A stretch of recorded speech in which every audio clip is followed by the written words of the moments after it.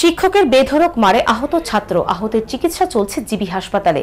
ঘটনার রাজধানী কামিনী কুমার স্কুলে আহত ছাত্রের নাম দিগ্বিজয় দেবনাথ। অভিযুক্ত শিক্ষকের বিরুদ্ধে কঠোর পদক্ষেপের দাবি তুলছে অভিভাবক মহল।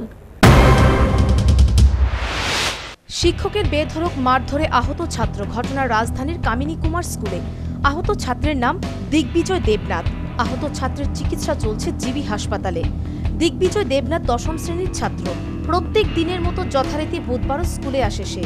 এগারোটায় শুরু হয় ক্লাস। দ্বিতীয় ক্লাসের সময় দশম শ্রেণির কক্ষে ঢুকেন শিক্ষক মশাই নারায়ণ সরকার। নারায়ণবাবু ক্লাসে প্রবেশ করে ছাত্রদের নানান অজুহাতে মারধর করে বলে অভিযোগ। বুধবার নারায়ণবাবুর নিশানায় পড়ে দিগ্বিজয়। সামান্য হাসির ঘটনাকে কেন্দ্র করে তাকে প্রচণ্ড রকমভাবে মারধর করায় দিগ্বিজয় জ্ঞান হারিয়ে ফেলে। বারোটা সাড়ে বারোটা সময় সেকেন্ড পিরিয়ড আমরা চলতেছে। আর স্যারে ক্লাসে এলো। স্যারের প্রত্যেক সময় ক্লাসে আয়া স্যারের সাবজেক্টের বই আছে কিনা?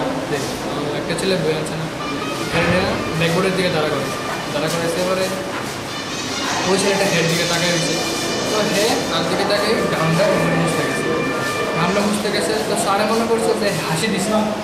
তো তৎক্ষণাৎ স্যারে হেঁটে করে যে তুই হেল হেল দিকে ব্যাগলে দিছিস ব্যাগলে দিছিস দিকে তুমি পেল এমনই দেখলাম ওয়ার্ড এই তো হের জায়গা দিয়ে হের জায়গার এখনই দেখলে ফার্স্ট এই সাইডে মারা থাপ্পড়টা মারছে মারার একটি সেকেন্ড পরে হেঁটে উঠছিল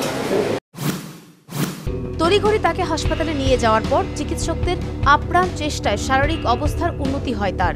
প্রসঙ্গত নারায়ণবাবুর বিরুদ্ধে আগেও ছাত্রছাত্রীদের মারধরের অভিযোগ রয়েছে। কাজেই এইবারের এই ঘটনা নারায়ণবাবুর বিরুদ্ধে কঠোর পদক্ষেপ নেওয়ার দাবি তুলছে অভিভাবক মহল। Bureau report, news Vanguard.